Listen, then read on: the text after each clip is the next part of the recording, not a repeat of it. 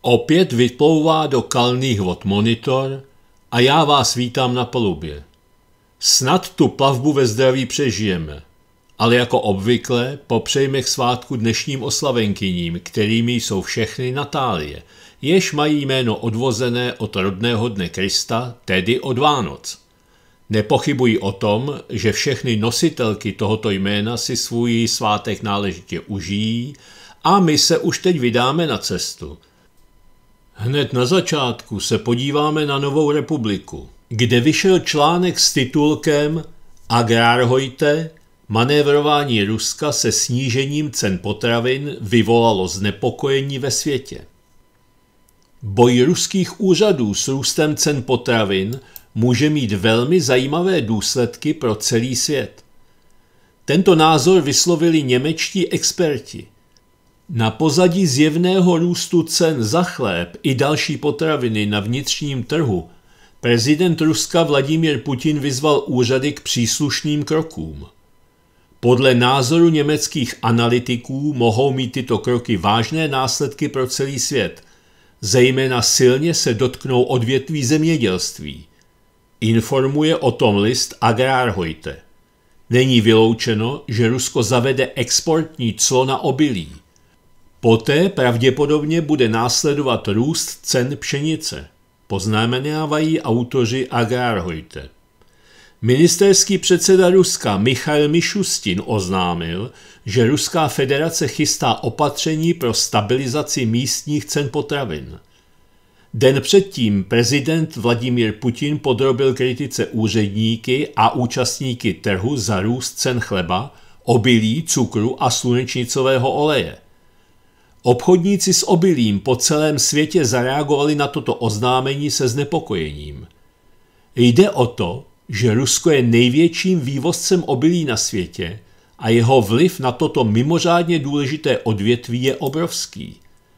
Manévrování Ruské federace s cenami za potraviny může mít za následek prudký růst ceny obilí na světovém trhu. Ruský premiér charakterizoval dynamiku cen na vnitřním trhu Ruské federace za nepřijatelnou, protože v poslední době v zemi prudce vyrostly ceny chleba, mouky a slunečnicového oleje. Němečtí experti připomněli, že Rusko letos sklidilo obrovskou úrodu obilí, nicméně vnitřní cena tohoto zboží prudce vyrostla kvůli vysokému exportu a vysokým exportním cenám. Na pozadí tohoto ministerstvo zemědělství Ruské federace navrhlo zavedení kvót na vývoz obilí ve výši 17,5 milionu tun od 15. února do 30. června. Vláda ještě tento návrh neschválila, nicméně mnozí chovatelé dobytka požadují vybírání vývozního cla na ruskou pšenici jako doplnění ke kvótě nebo místo ní, konstatovali němečtí dopisovatelé. Exportní ceny ruské pšenice tento týden trochu klesly, nicméně to proběhlo ještě před oznámením plánů Moskvy na snížení cen potravin. Pšenice s obsahem bílkoviny 12,5% se expedovala v přístavu Novorossijsk za cenu 253 dolarů za tunu, což je o 1 dolar méně než v týdnu předtím. Dříve Politikrasia informovala o záměru generální prokuratury Ruské federace prověřit odůvodněnost růstu cen potravin. A když už jsme v zahraničí, tak v něm budeme pokračovat. První zprávy pod titulkem Státy Ukrajiny plynoucí z projektu Nord Stream 2 přinesly toto. Odborníci promluvili o ztrátách Ukrajiny plynoucí z dostavby rusko-německého plynovodu Nord Stream 2. Uvedli to noviny strana.ua. Dokončením projektu se uzavře plynárenský okruh v Evropě a poskytne se tak zdroj energie zemím, na které se nevztahovaly projekty Nord Stream a Turkish Stream. Patří mezi ně Česká republika, Bulharsko, Maďarsko, Itálie. To povede k tomu, že tranzit přes Ukrajinu bude nadbytečný, píše deník. Už ale nepřipomíná, že tuto nepříjemnou situaci si vedení Ukrajiny zavinilo samo, když krádežemi a neustálými hádkami o ceně vytvořilo krizovou situaci s dodávkami ruského plynu do Evropy v zimě 2009. Právě projekty jako Turkish Stream a Nord Stream 2 byly reakcí na ukrajinská rizika. Podle Jurie Koroučuka, analytika Ústavu strategických studií, může být projekt dokončen do dubna června 2021. Nyní je připraven na 93%.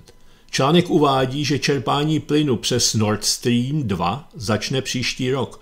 Proto může být v budoucnu tranzit ruského plynu naším potrubím vážně snížen. A objemy tranzitu nemusí stačit ani pro soběstačnost ukrajinské rozvodné sítě poznamenává Korolčuk. Podle expertních výpočtů přijde Ukrajina o několik miliard dolarů ročně kvůli omezení tranzitu plynu přes její území. Není to však jediný důsledek pro zemi, je přesvědčen Kovalčuk. Je možné, že část nákladů na údržbu potrubí bude přenesena na ukrajinské spotřebitele, lidi a podniky, takže účty za plyn mohou rychle stoupnout, vysvětlil specialista. Nord Stream 2 umožní Německu stát se jedním z největších uzlů plynu v Evropě, kromě Turecka a Polska, které plánuje pokrýt část potřeb východní Evropy za pomoci amerického skapalněného plynu. Evropský trh s plynem již byl skutečně rozdělen a nezbývá pro nás, tedy Ukrajinu, žádný prostor, říká Gennady Jerabcev, vedoucí speciálních projektů ve vědecko-technickém centru Psyché. Ačkoliv Kijev má stále pětiletý kontrakt s Gazpromem, který stanoví roční čerpání na úrovni nejméně 40 miliard kubických metrů ročně, neumožní zemi vydělat peníze na tranzitu, píše deník. Dokonce i 40 miliard je ve skutečnosti prací za zakoupení soběstačnosti. Už nebudou existovat další 3 miliardy dolarů, které Ukrajina měla, čerpáním 90 až 100 miliard kubických metrů ročně, uvedl ekonom Alexej Kušč. Nějak se mi z těch zahraničních vod dneska moc nechce. Tak ještě jednou ze zahraničí. Seznam zprávy jako taková neoficiální pobočka české televize je opravdu výživný informační zdroj. Přinesl například zprávu, že Anglii se šíří nový kmen koronaviru. Je až o 70% nakažlivější, jak řekl premiér. Londýn a jeho východ Anglie kvůli nárůstu případů nákazy koronavirem vstoupí už od neděle do nově vytvořené čtvrté úrovně omezení.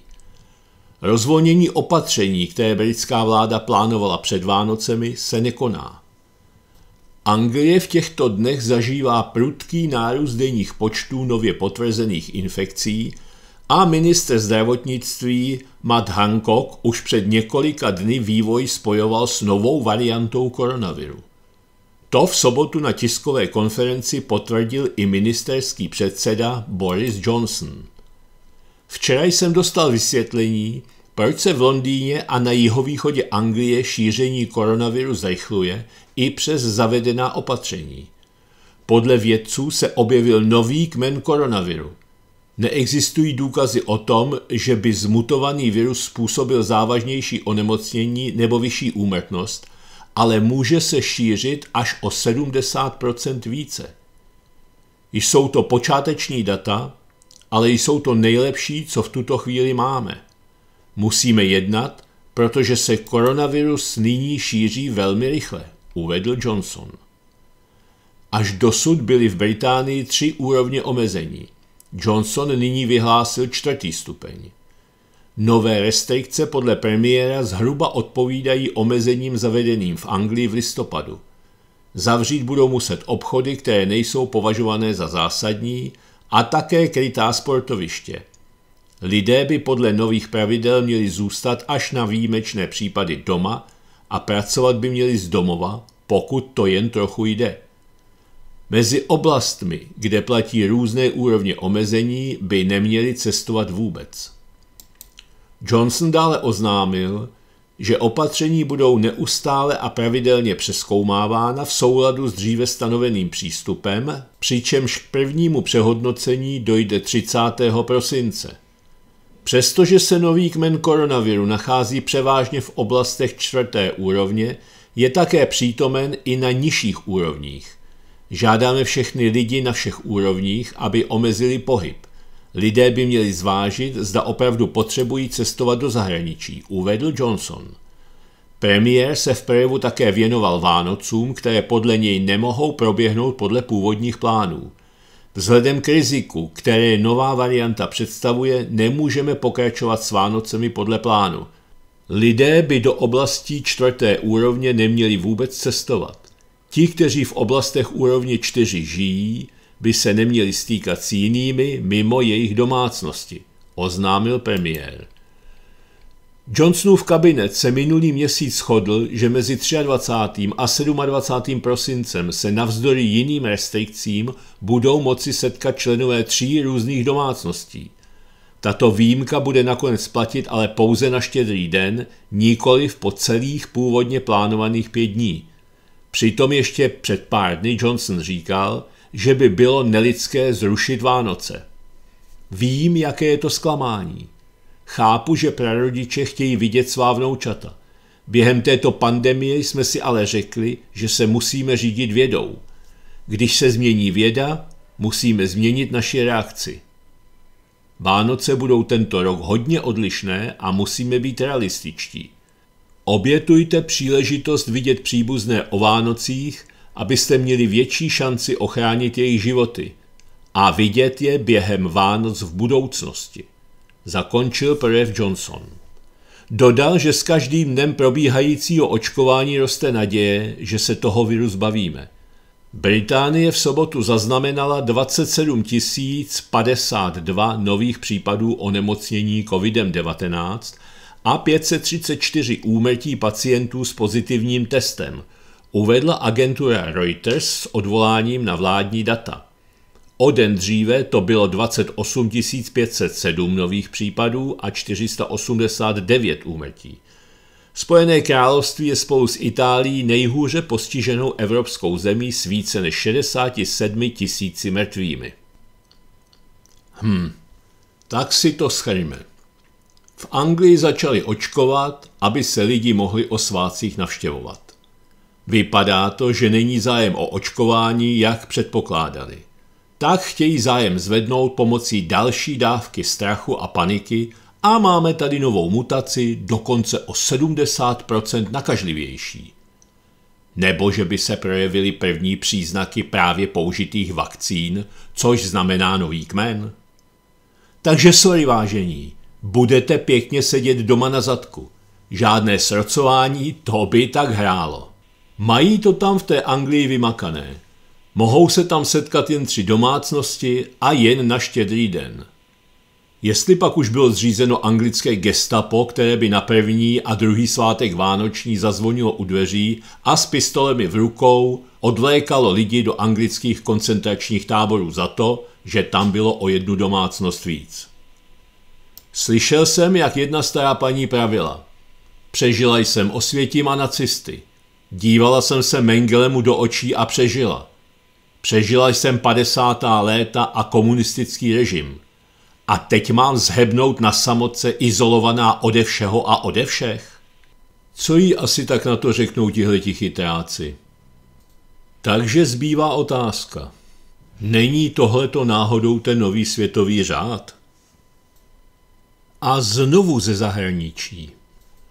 Na včerejším Europortálu jsem si přečetl toto. Separatismus. Texaští republikáni vyzývají k nové unii států věrných ústavě v odpovědi na zavržení nejvyšším soudem. Předseda texaské republikánské strany Allen West po zamítnutí stížnosti tohoto státu spochybňující vítězství Joe Bidena v Pensylvánii, Georgii, Washingtonu a Michiganu běsní a navrhuje cosi, co zní jako separatismus – Bývalý kongresman a veterán irácké války West v pátečním nočním prohlášení řekl Nejvyšší soud zavežením texaské žaloby, ke které se přidalo 17 států a 106 amerických kongresmenů, tím vyhlásil, že stát se klidně může pustit do protiústavní činnosti a porušovat své vlastní volební zákony. Důsledkem toho jsou ničivé dopady na ostatní státy, které dodržují zákon, zatímco provinilé státy nečekají žádné důsledky. Takovéto rozhodnutí stanovuje precedent, který říká, že státy mohou porušovat ústavu USA, aniž by byly hnány k odpovědnosti. K tomu pak West dodal, takové rozhodnutí bude mít v budoucnu naší ústavní republiky daleko sáhlé následné dopady. Možná by se zákona dbalé státy měly společně semknout a sformovat unii států, které budou ústavu dodržovat. V dalším prohlášení West návrh zopakoval, když psal Když žijeme v Texasu a přidalo se k nám více než 20 jiných dalších států, to jest 1065 dalších poslanců kongresu, kteří říkají, nechceme stát opodál a nechat čtyřem státům, aby se dopouštěli proti ústavních postupů, a když na takové státy pohlížíme jako na sebe dodržující zákon, ale i přesto nejvyšší soud řekne, že vše je naprosto v pořádku, tak bychom asi měli mít unii států, které věří v ústavu a budou dodržovat vládu zákona a nechat ty státy odejít pryč svou vlastní oddělenou cestou a dovolit jim, aby nebyly podporovány těmito dalšími státy jako samotné. Páteční rozhodnutí představovalo pro republikány druhý případ, kdy byli během tohoto týdne republikáni u nejvyššího soudu zaveženi a je to všeobecně považováno za konec cesty pro možnost zvrátit výsledky voleb. A protože to vypadá, že kapitola amerických voleb pomalu končí, tak ještě jednou Spojené státy a jejich volby. Následující jsem převzal od AC24. Článek ze včerejška je pod titulkem Senzace u nejvyššího soudu USA. Soudce usvědčen ze spiknutí. Jakou roli sehrál předseda nejvyššího soudu, hlavní soudce John Roberts, při zamítnutí žaloby z Texasu a více než 20 dalších států proti platnosti volebních výsledků ve čtyřech obžalovaných státech? Objevil se extrémně výbušný tweet – Trumpův právník Lin Wood v tweetu ze 17. prosince ve 12 hodin 16 minut, který označil za nejdůležitější v celém svém životě, řekl velmi důrazně. Hlavní soudce Roberts je skorumpovaný a měl by okamžitě odstoupit. Rovněž by měl okamžitě odstoupit soudce Stephen Breyer. Jsou to antitrumpové, kteří usilují o to, aby veřejnost neznala pravdu o znovu zvolení Donalda Trumpa. Velké obvinění, protože pokud to není pravda, tak Lin Wood dohrál navždy. A bylo by to pro něj také hodně drahé. Když byl dotázán na zdroje svého tvrzení, jeho další tweet přišel ve 12 hodin 25 minut. Wood tvrdil, že hlavní soudce Roberts v telefonním hovoru 19. srpna uvedl, že zajistí, aby matka křížek hvězdička Kerr nebyla nikdy znovu zvolena. Roberts telefonicky souhlasil se soudcem Breyerem o tom, jak lze Trumpa volit. Ani v tomto tweetu nechtěl pojmenovat zdroj svého tvrzení. Pak ve 13.50 příští Woodovo pípání. Tvrdil, že potvrzení jeho závažných obvinění byla z rukou různých třetích stran a uvedl důvod. Příliš často, když nelze zprávu napadnout, by byl napaden posel. Pravdu nelze popřít ani zničit, řekl Linwood a je přesvědčen, že jeho obvinění jsou pravdivá. Tato tvrzení by měla být pravdivější vzhledem k důsledkům označení předsedajícího soudce Nejvyššího soudu USA a jednoho z jeho kolegů z korupce a rovněž prohlašujícího, že se spikli proti znovu zvolení Donalda Trumpa. Lin Wood by musel být šílený, aby vznesl taková obvinění, pokud by je nemohl dokonale zdůvodnit. Ten muž je prominentní právník. Existuje však ještě další prohlášení, které bylo učiněno na jednání v Texasu. Texaský státní volitel Matt Patrick uvedl, že hlavní soudce Roberts se v kauze Texas et al. versus Swing States setkal se svými osmi kolegy v místnosti v budově soudu, místo aby udržoval aktuálně obvyklé videokonference kvůli pandemii. V této místnosti prý křičel na své kolegy tak hlasitě, že to bylo slyšet na chodbě. Screenshot videa s prohlášením Meta Petrika zde stále existuje. Mezitím se zdá, že byl obsah odstraněn. CSPAN to zveřejnil včera, než byl zjevně odstraněn ze sítě. Státní volitel Matt Patrick tvrdí, že řev hlavního soudce Robertse zněl takto. Chcete vyvolat nepokoje? Je zřejmé, že měl na mysli letošní Marodanten festival Antifa a Black Lives Matter, který po smrti George Floyda v Minneapolisu zničil celé okresy po celé zemi. V průběhu těchto nepokojů došlo k nejméně tuctu úmrtí.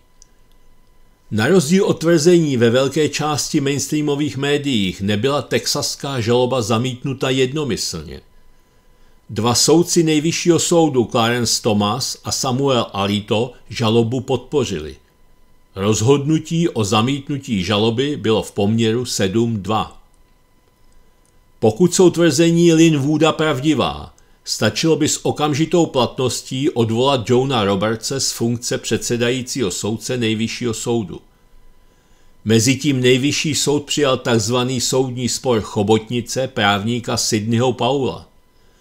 Tento soud je založen na poznacích vojenského spravodajství – v současné době není jasné, zda bude také projednán. Závěrečná zpráva ředitele Národní spravodajské služby DNI Johna Radcliffa, původně naplánovaná na 18. prosince, nebyla údajně dokončena včas, protože míra čínského zasahování do amerických voleb, například prostřednictvím sociálních sítí, respektive sociálních médií, předčila všechna očekávání a ve zprávě by měl být obsažen úplný obraz situace. Radcliffova zpráva se nyní očekává v lednu. Zásahy Ruska a Iránu jsou údajně plně prokázány. Ve státech Michigan a Georgia se nyní situace obrací. V Georgii konečně probíhá ověřování voleb pomocí kontroly podpisu na hlasovacích lístcích a obálkách. Guvernér Brian Kemp, republikán, a ministr zahraničí Brett Raffensperger, demokrat, se vzdali svého odporu poté, co jim byly ukázány trestně právní důsledky jejich vytrvalosti. V Michiganu v okrese Antrim zjistil audit u zabavených hlasovacích strojů Dominion míru chybovosti počítání mezi 62 a 68 procenty.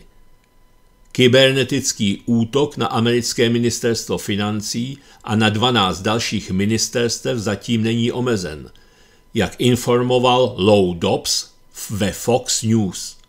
Zatím nebyly nalezeny žádné prostředky, jak by to bylo možné zastavit. Tady nechám na PT posluchačích, aby si udělali závěr sami. V zahraničí ještě zůstaneme, ale zabrousíme do trochu jiné oblasti lidského činění. Na chvíli se podíváme do filmového světa. Dozvíme se, že britští šlechtici v 19. století byli černoši. Alespoň to tvrdí seriál Netflixu. Trailer seriálu Bridgerton zanechává v divácích zmatené dojmy a vzbuzuje řadu otázek. Kde se seriál odehrává a kdy? Je to sci-fi? A proč jsou angličtí šlechtici černí? Podle Netflixu jde o historický seriál z aristokratické společnosti 19. století. Hlavním autorem seriálu Bridgerton je Chris Van Dusen, který využil knížky Julie Queenové umístěné do nejvyšší londýnské společnosti 19. století. Děj se odehrává v aristokratických palácích, kde kvetou intriky a dcery z lepších rodin chystají sítě na bohaté ženichy. Trochu to připomíná knihy Jane Austenové, ale u ní nebyla šlechta černá. Podle castingové režisérky Kelly Valentin Hendryové se dřív vše točilo jen z pohledu bílých mužů a teď je to teprve v pořádku.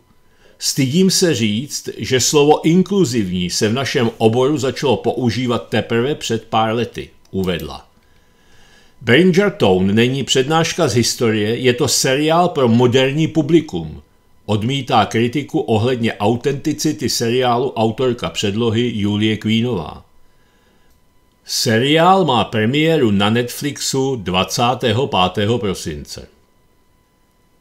Nezajímá mne a nikdy mě nezajímala barva kůže, každému podle zásluh. Poslouchal jsem Jacksona, Hendrixe, měl jsem rád filmy s Eddie Murphym a Denzelem Washingtonem a dalšími. Nikdy mě nenapadlo, že na to nebudu koukat, protože tam hrajou černoši. Ale tlak na to, abychom z nich dělali něco, co nejsou, nebyli a nebudou, ten vyvolá jen a pouze opačnou reakci. Někteří lidé je začnou z principu nesnášet ještě víc než dosud. I zde platí fyzika, princip akce a reakce. Žánry jako fantazy nebo sci-fi jsou v podstatě pohádky pro dospělé, takže je mi šumafuk, kdo tam hraje. Pokud ale někdo chce vycházet a držet se historie, nebo tvrdit, že se v ní inspiroval, tak je to všechno naprostý nesmysl. Ale je docela možné, že autorka žije v paralelním světě a nějakou náhodou propašovala své veledílo do tohoto světa. Asi jako Joe Biden, který klidně tvrdí, že žárovku vynalezl Černoch. Ovšem, jestliže někdo tvrdí, že tohle všechno se drží historie, tak Šrek je skutečný. Ještě chvilku se zdržme u kultury, neb knihovny jsou také kultura. Takže se na chvíli věnujme knihovně Václava Havla. Minule jsem tady mluvil o altruistech a filantropech a jednoho jsem zmínil. Tak se k němu ještě vrátím. Nad Zdeňkem Bakalou zvítězil u několika soudů, proto se mu miliardář prý nyní mstí více a více.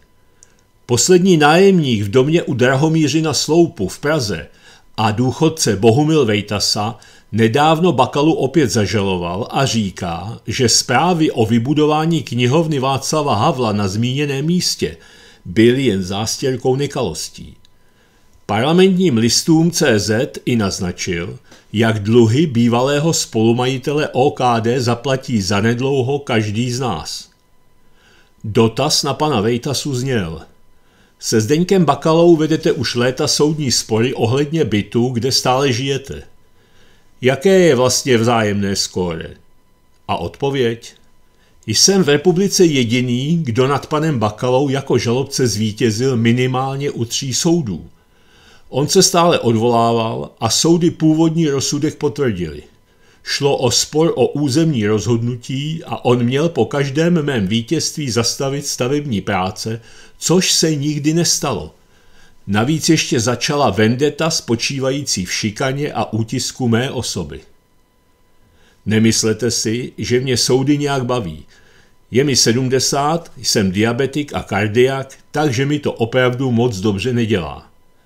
Nicméně jsem se poučil z toho, jak si těch přes 90 tisíc lidí na Ostravsku naběhlo, když Bakalovi věřili. Pravda, on se tenkrát a vlastně doposud prezentuje jako schopný a na západě studovaný manažer, humanista a lidumil. Otázka. Myslíte si, že si tedy nájemci bytů v Ostravě Bakalu idealizovali? A odpověď zní – Prostě všichni uvěřili jeho slibům a pak jim zbyly oči pro pláč. Horníci ty byty dostali jako služební, protože dřeli v dolech. Zmíněné byty neměly být vůbec do podstaty OKD zahrnuty. Šlo o první chybu v celém případu. Byty měly být zprivatizovány prostřednictvím státu. Zhruba před rokem jsem seděl celý den v parlamentu, kde se probírala kontrolní zpráva k OKD – tam bylo dopodrobna rozepsáno, kdo za to tehdy nesl odpovědnost. Když pak v souvislosti s nesplněným slibem ohledně bytů nazval Bakalu Zaoralik gaunerem, soud ho osvobodil. Tehdy Bakala poprvé prohrál, ale to byl na straně žalobce. Jak vypadá vámi zmiňovaná msta z Bakalovy strany? On sám nic nepodniká, má na to lidi. Osobně jsem s ním mluvil pouze jednou. Útisk má stupňující se charakter, kdy dochází i ke krádežím mého majetku. Neštěstí je, že se v tom naše policie neorientuje, anebo se bojí mocného odpůrce, takže mi nedokáže pomoci. Nedávno mi jeden příslušník říkal, že ho tento případ až tak nepumpuje, že spíš honí desperáty na silnicích. Bakalovi jdou také na ruku úřady na nižších úrovních. Proto jsem nucený stále podávat trestní oznámení, což je v současné situaci to jediné, co s tím mohu dělat. Pak u soudu, kam vše směřuje, alespoň soudce ví, že jsem se bránil, že jsem to předal policii, která v tom nic neudělala. Často mi bylo řečeno, že jde o občanskoprávní spor. Je to podivné. Krádež je trestná, i když ji spáchá bezdomovec nebo miliardář. Otázka. Aktuálně jste podal na Zdeňka Bakalu další dvě žaloby. O co tedy jde? Odpověď. Ze střechy mi jeho lidé odvezli majetek a celková škoda činí 100 000 korun. Chci, aby vše vrátili do původního stavu. Tuto žalobu jsem podal zhruba před měsícem. Ostatně nedávno zrušili skoloudovanou sušárnu a mé věci z ní jsou také pryč. V druhé žalobě Staré týden jde o penále. Jedná se o úhradu smluvní pokuty za porušení závazku ze smlouvy o podmínkách provedení rekonstrukce střešního pláště z roku 2013. Jednání správníky jsou složitá, proto věci řeším postupně. A Bakalovi muži mi samozřejmě do cesty kladou různé překážky. Chtějí mě buď zastrašit, nebo uštvat. Musí se čekat na to, až spor nějaký soud rozsekne, jak víme, soudy jsou pomalé. Bakalovci na pomalost soudů spoléhají, takže než přijde na řadu rozhodnutí, udělají na baráku nezvratné změny. Samozřejmě za souhlasu odboru výstavby v Praze 1. Ostatně u tohoto odboru není zcela jasné, co vydal. Jeho povolení stavby platí totiž jen pro menší část podivně katastrálně rozděleného domu – Jde vlastně jen o rezidenci manželky bývalého prezidenta Hany Benešové, která tam žila. Do ní se celá knihovna nevejde. Proto mám dojem, že se vše řeší takzvanou salámovou metodou, při níž se obchází původní soudní rozsudky. Se svými starostmi jsem se dopisem obrátil jako předseda Združení Hračanská obec i na současného prezidenta Miloše Zemana. Otázka? O tom, že se z domu má stát knihovna Václava Havla, již dlouho není nic slyšet. Proč? Odpověď. Zprávy o vybudování knihovny Václava Havla v domě nedaleko Černínského paláce byly podle mě jen zástěrkou nekalosti. Bylo nutné změnit náš bytový dům, kde bydlelo 18 rodin, na nebytový. Územní rozhodnutí bylo sice díky mé žalobě soudně zrušeno, ale Bakala dost podivně získal od magistrátu povolení na stavbu Havlovy knihovny.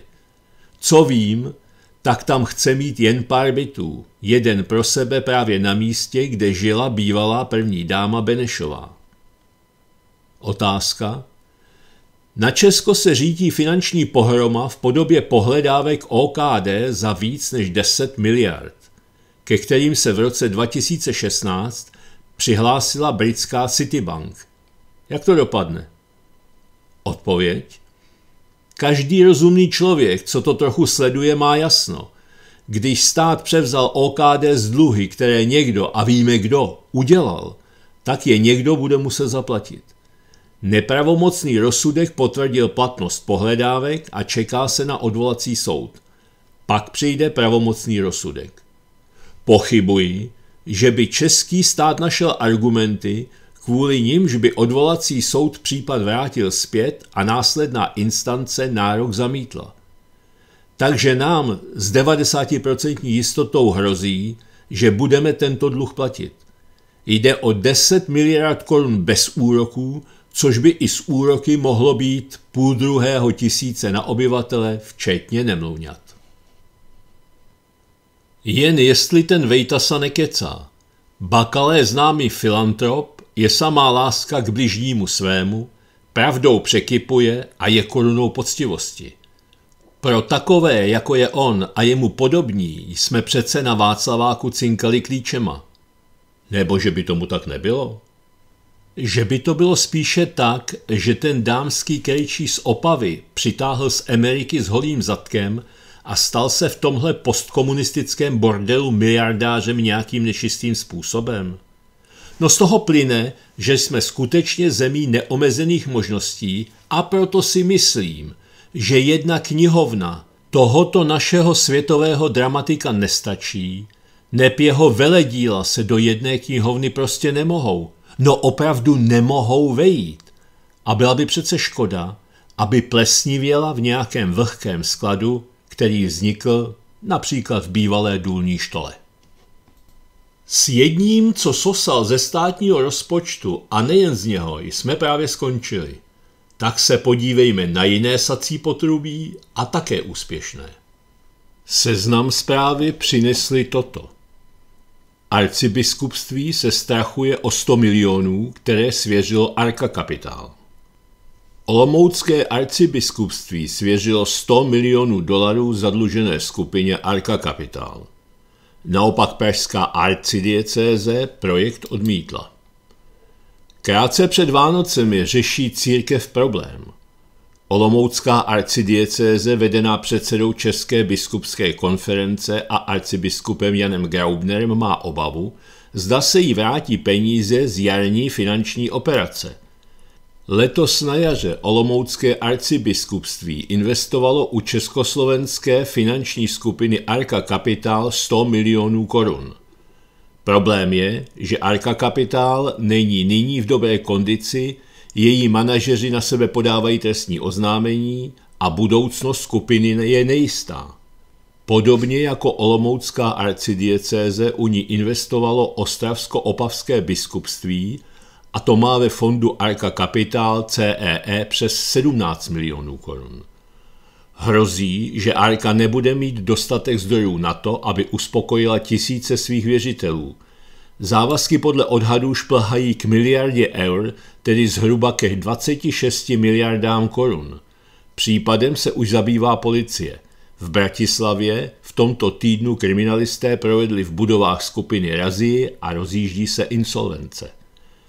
Arcibiskupství Olomoucké koupilo krátkodobý investiční instrument, jehož výtěžek měl být použit na charitativní účely a rekonstrukci historických památek. Bohužel se však stalo jedním ze stovek klientů, kteří byli podvedeni, řekl mluvčí arcibiskupství Olomouckého Jiří Gračka. O finančních problémech rozvětvené skupiny Arka Capital se hovoří už delší dobu, přesto se Olomoucká arcidiecéze k této operaci před několika měsíci odhodlala.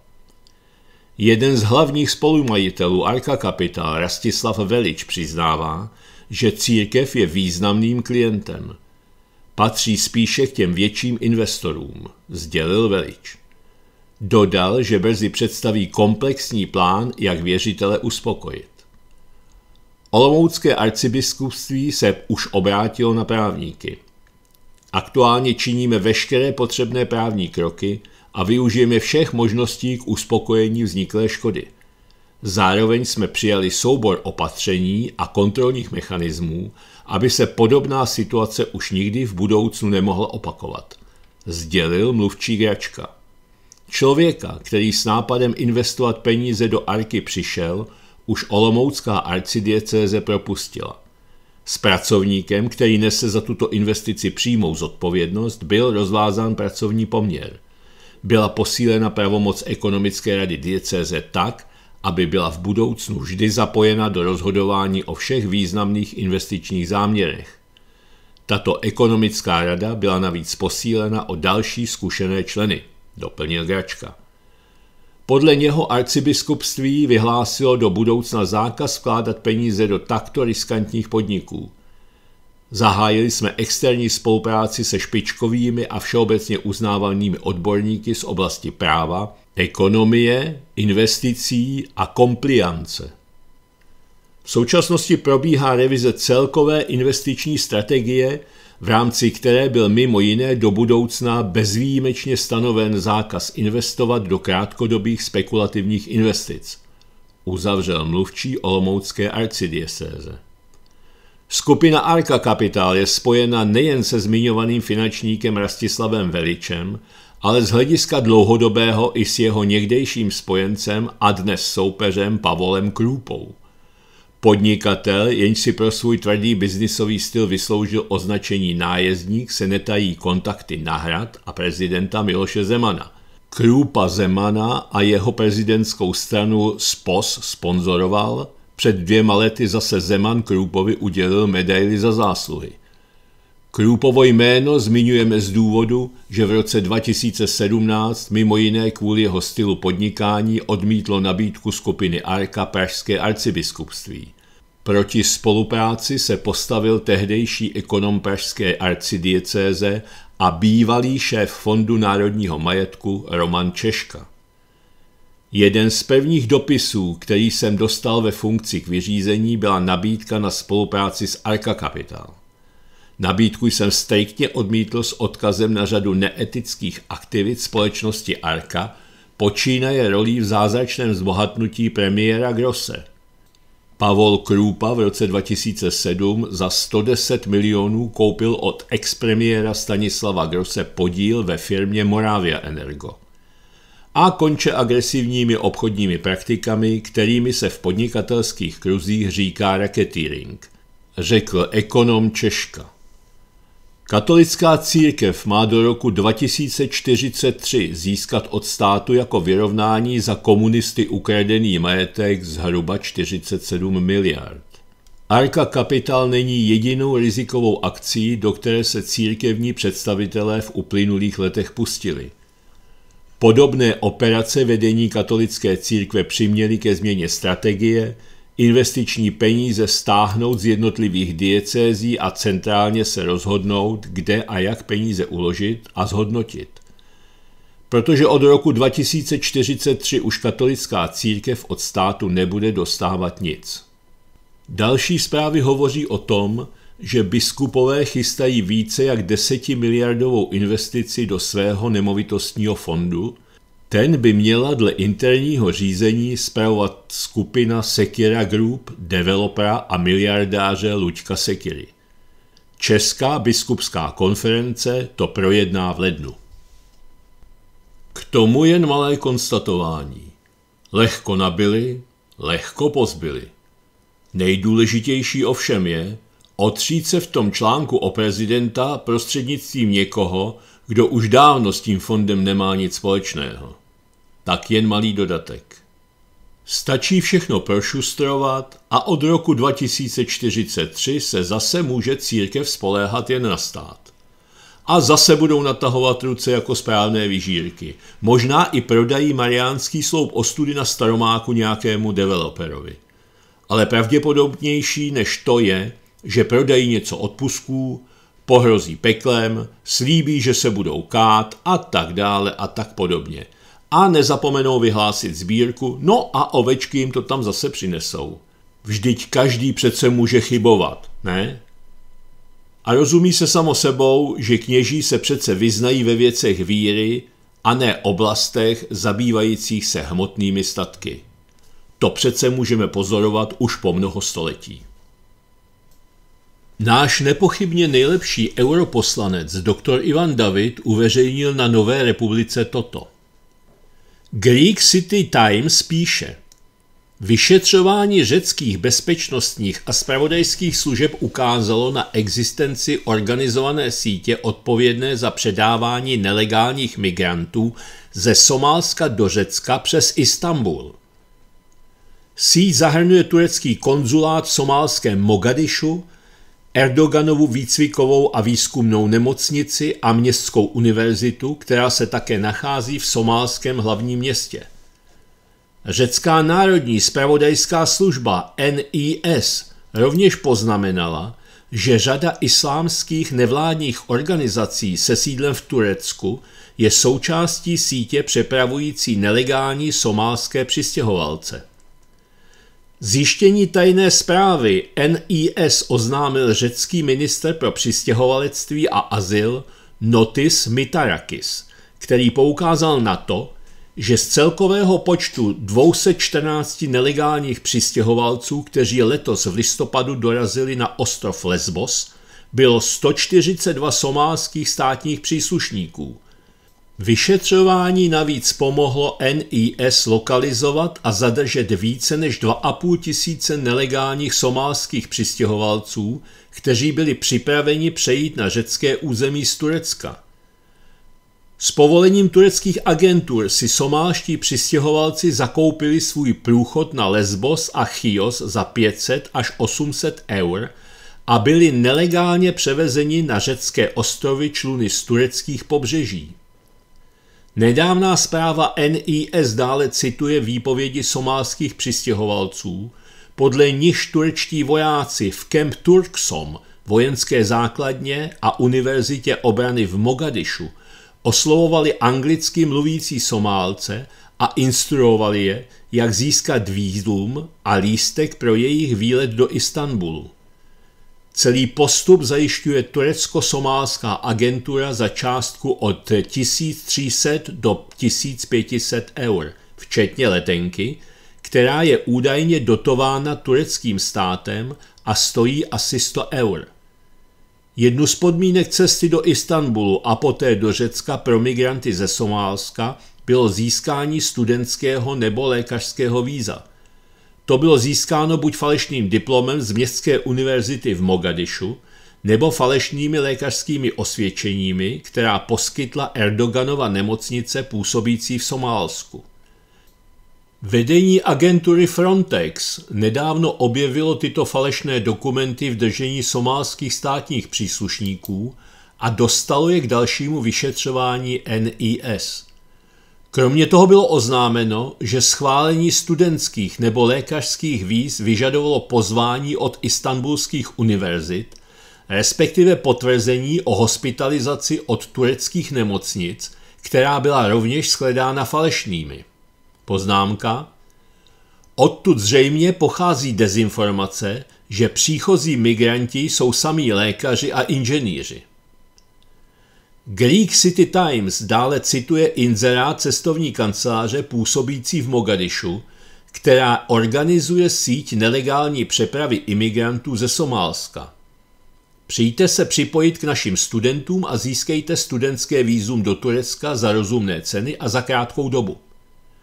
Vkladové účty somálských přistěhovalců ukázaly, že procesu vyřizování žádostí a vydávání víz, jakož i cesty do Istanbulu a poté do Evropy často napomáhaly dvě islámské nevládní organizace, jedna se sídlem ve Spojeném království a druhá v Turecku. Zpráva NIS uvedla, že tyto dvě organizace byly v minulosti vyšetřovány a bylo zjištěno, že jsou spojeny s muslimským bratrstvem, organizací, která má úzké vztahy a vazby s Tureckem a prezidentem Receptem Erdoganem. Vyšetřování NIS také odhalilo, že po příjezdu do Istanbulu byli somálští přistěhovalci přivítáni svými krajany a byli rychle odvezeni dodávkou do bytu agentury po celém městě. Přistěhovalci by pak zůstali ve skupinách po 15 až 20 osobách a zůstali v malých prostorách, dokud nebude zorganizována jejich bezpečná přeprava na západní pobřeží Turecka. Z výpovědí přistěhovalců, které identifikovala NIS, vyplývá, že združení převážně tureckých a syrských obchodníků s otroky nasměrovali Somálce do Izmiru a Dikily na pobřeží Turecka – odkud je průchod na řecké ostrovy Minitylene a Chios kratší, jednodušší a dostupnější. Vyšetřování doprovázely také zprávy, které ukázaly, že tisíce afrických migrantů v současné době žijí v dělnických ubytovnách v izmirské čtvrti Basmáne a plánují přejít do Řecka. Somálští migranti, kteří svědčili před řeckými orgány, vysvětlili, že turecké orgány je nezatkly na rozdíl od migrantů jiných národností kvůli spolupráci mezi Tureckem a Somálskem. Volba ostrovů Chios, Samos a zejména Lesbos jakožto destinací pro přistěhovalce není vůbec náhodná a není vybrána jen proto, že tyto ostrovy jsou nejblíže k tureckému pobřeží. NIS a policie na výše zmíněných ostrovech zjistili za poslední rok přesun toků přistěhovalců z jiných míst směrem ke třem ostrovům. Tento jev je přičítán přítomnosti a činnosti mezinárodních organizací a humanitárních nevládních organizací, které zaručují hladký a bezpečný příjezd přistěhovalců na ostrovy. Některé z těchto organizací byly v minulosti rovněž obvinovány z pomoci nelegálním přistěhovalcům při stěhování z azijských a středovýchodních zemí do Evropy. Zprávy NIS také popisovaly spojení členů organizací s jednotlivci a skupinami blízkými anarchisticko-autoritářskému prostoru a dokonce i jejich kontakty s obchodníky s lidmi působícími v Turecku. Minister pro přistěhovalectví Notis Mitarakis se k problému nedávno vyjádřil slovy. Tyto cesty jsou podporovány obchodníky s lidmi a někdy jsou podporovány nevládními organizacemi působícími v této oblasti. Před několika měsíci byly čtyři nevládní organizace působící na ostrově Lesbos také v epicentru tajného vyšetřovacího kódu s názvem Alkminy, který prováděla řecká policie pobřežní stráž a Národní spravodajská služba. Zpráva a závěry vyšetřování NIS vyvolaly reakci několika nevládních organizací, které v písemném sdělení pro řecký týdenní Kadhimerini uvedly. Naše organizace zaznamenává příjezdy uprchlíků na ostrovy ve východním Egejském moři a zajišťuje, aby se nacházeli u příslušných orgánů, aby měli přístup k systému azylu, jak je stanoveno v řeckém, evropském a mezinárodním právu. NIS údajně pokračuje v probíhajícím vyšetřování na ostrovech v Egejském moři, protože příliv nelegálních migrantů je ve východní Evropě stále pozorně sledovaným problémem. Uzavírá svůj článek Greek City Times. Závěrem, Takzvaná migrační krize má několik hlavních příčin. Jednak je to neutěšená situace v mnoha zemích, za druhé snaha Turecka a západních elit o destabilizaci situaci v Evropě, jinak se to nazvat nedá, a za třetí sleduj stopu peněz. Je to nejvýnosnější obchod současnosti, výnosnější než obchod se zbraněmi a drogami. Je to nebezpečnější, že se mu neustále někdo snaží dát punc jakési mravní vznešenosti, přestože je to jen špinavý handl s lidmi. Když vidím architekta současné, především německé uprchlické politiky a poradce Angely Merkelové, Geralda Knause, řečnit v nesčetných talk show a špinit země, které nepřijímají uprchlíky a tím hrozí zastavit penězovody – Kárá je přitom za nedostatek lidskosti, dělá se mi fyzicky nevolno. A to snesu mnoho. Naposledy se exponoval při soudním sporu u soudu Evropské unie proti Maďarsku, kdy plameně obvinoval Viktora Orbána a popisoval nelidské zacházení s migranty, kteří prý byli dokonce zadržováni v jakýchsi centrech. O hrůza! Stejně tak kritizuje ale i Rakousko – Dokud mají lidé jako on peníze a vliv, neustálému tlaku na přijímání migrantů se nezbavíme. Turecko pak tento pán chválí za vzornou péči o uprchlíky. To, že je na jaře hnali pod bajonety jako živou munici na řecké hranice, samozřejmě nezmiňuje. To, že si Turecko dle potřeby uprchlíky svými agresemi produkuje, také ne. Obchod se somálskými migranty samozřejmě také kritizovat nebude, to je přesně to, co Gerald Knaus potřebuje. Německá kancléřka mu naslouchá a Němci zvyklí poslouchat své vůdce platí a celá EU s nimi. Za této situace si Evropská komise dokonce dovoluje znovu předložit přepracovaný návrh na povinné kvóty na přerozdělování migrantů – podle něj by každý členský stát musel převzít část migrantů, kteří nemají právo na poskytnutí azylu a na své náklady vybojovat právní bitvu proti neziskovkám, které financují a zajišťují soudy a odvolání. Pokud by je z Evropy příslušný stát nedokázal vyexpedovat do země původu, musel by si je ponechat a k ním by nádavkem dostal stejný počet migrantů, které nikde nechtějí. Nepochybuji, že je zatím opět rukopis think tanku Evropský pakt stability, jejímž spoluzakladatelem je i pan Knaus a která zastřešuje všechny integrační snahy v Evropě. A úplně nakonec tu mám jednu pozitivní zprávu. Betlémská hvězda, která podle biblické tradice zářila na nebi při narození Ježíše, se letos opět objevila. Na nebi byla k vidění dnes 21. prosince, kdy došlo k největšímu možnému přiblížení Jupitera a Saturnu. Úkaz byl viditelný i bez dalekohledu, pouhým okem. Samozřejmě jen tam, kde bylo jasno, a pokud jste si vybrali místo s nerušeným pohledem k jihozápadnímu obzoru, tedy bez stínění domy, stromy či kopci. Úkaz, jež přiměl tři mudrce k cestě za narozeným Ježíšem, byl k vidění poprvé od roku 1226. Podle vědců se jedná o konjunkci planet Saturn a Jupiter, tedy jejich přiblížení, kdy vizuálně téměř splynou v jednu zářící hvězdu. Postupně se hvězdy posouvají do příslušné pozice už od začátku prosince. Přestože k úkazu dochází každých 20 let, letos je jejich přiblížení těsnější než obvykle. Stalo se tak půl hodiny po západu slunce, tedy kolem půl páté v podvečer, tedy zhruba před hodinou a půl, nízko nad západním obzorem. Planety zapadaly už v půl sedmé, takže pohled z kopce, odkud je dobrý výhled až ke vzdálenému horizontu, byl nepochybně velkou výhodou. Pro ty, co to prošvihli, mám radu. Snažte se žít ještě 60 let, neb za 60 let se úkaz bude opakovat. Máme tu opět závěr dnešního monitoru.